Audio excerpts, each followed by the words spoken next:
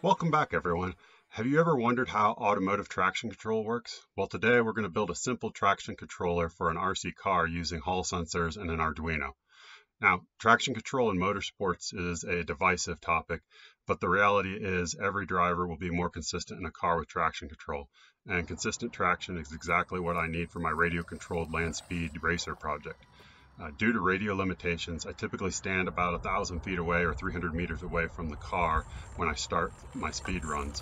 At that distance, I can just barely make out the car, and there's no way that I can see whether or not the wheels are spinning. So I've tried a number of different approaches to manage wheel spin, but none of them could take into account road surface irregularities without being far too conservative. So why am I not testing this out on my Streamliner itself? Well, I'm currently traveling the country in an RV and I don't have access to a paved testing location, so testing is going to fall on the old RC10T. Implementing traction control on an RC car is fairly straightforward. I've hot glued four magnets on a single front and rear wheel on one side of the car.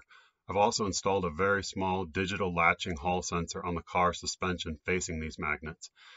The latching part of the name means the sensor only changes state when the alternating magnetic pole passes by the sensor, so the four magnets on the wheels are installed facing north-south, north-south.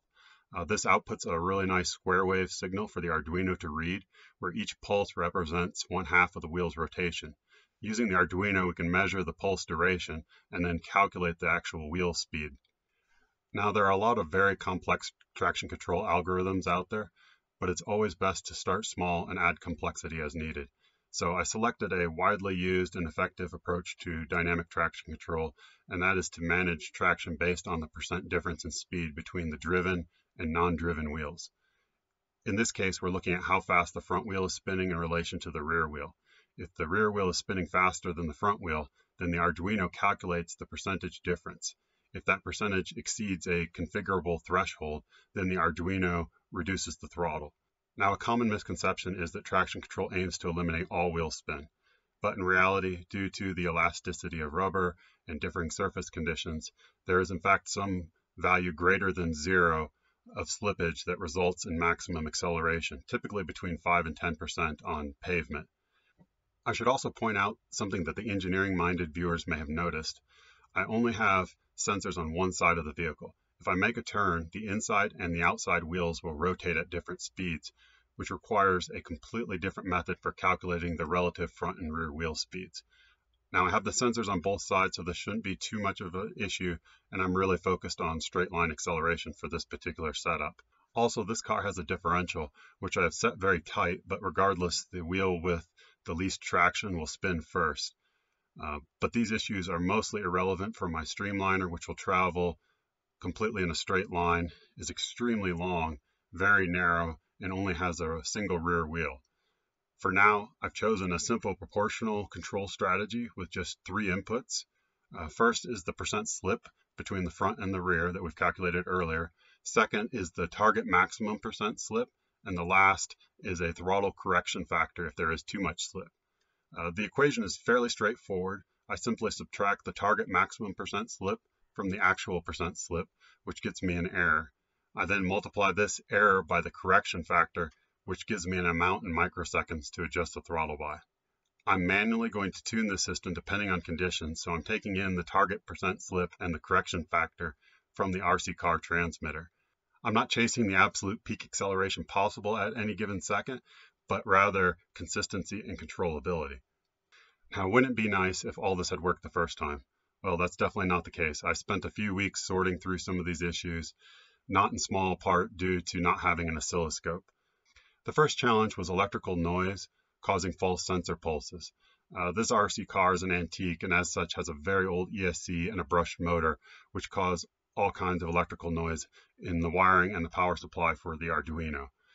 The Hall sensors worked great when the motor wasn't spinning or if the ESC was near full throttle, Otherwise, they were just pulsing a few thousand times a second. This was primarily an issue with the outdated A3144 Hall sensor I initially used. A shielded cable and some filtering capacitors uh, mostly solved this. The next issue was managing the distance between the Hall sensors and the magnets. Um, because I had to mount the Hall sensors to the RC car suspension, uh, they would move around a small amount relative to the magnet, which caused the A3144 Hall sensor to either create false pulses or to be out of range of the magnets. So I switched to a much newer DRV 5015, which is a tiny surface mount Hall sensor meant for high speed motor commutation, which is great because it's about 10 times more sensitive to magnetic fields and it's a latching type sensor and less prone to false triggering. So after a lot of tuning, I set up to perform some time test runs.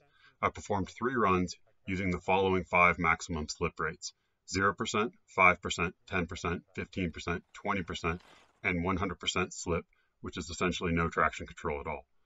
For all of the tests, I just smashed the throttle and I did my best to try to keep the car in a straight line.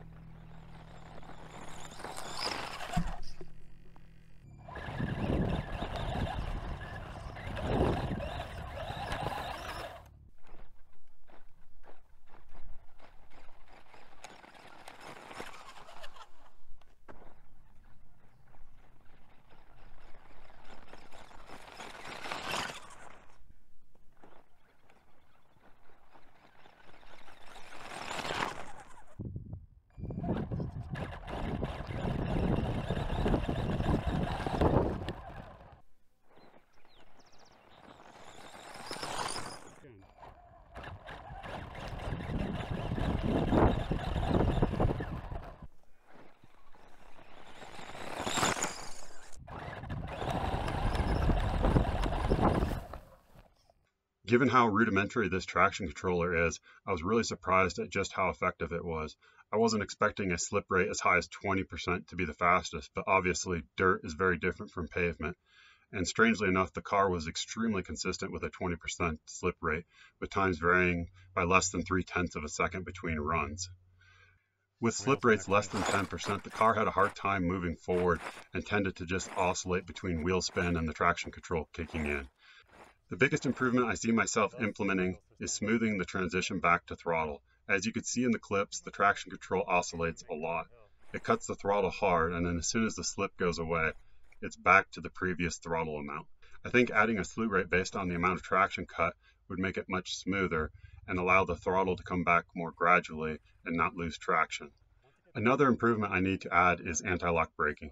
Because the Streamliner uses a single rear wheel for all of its braking, the rear wheel tends to lock up and the car crashes. ABS should just be some additional Arduino code that runs when braking. If the pulses to the rear Hall sensor are suddenly too long, then the controller will stop braking momentarily until the wheel regains traction.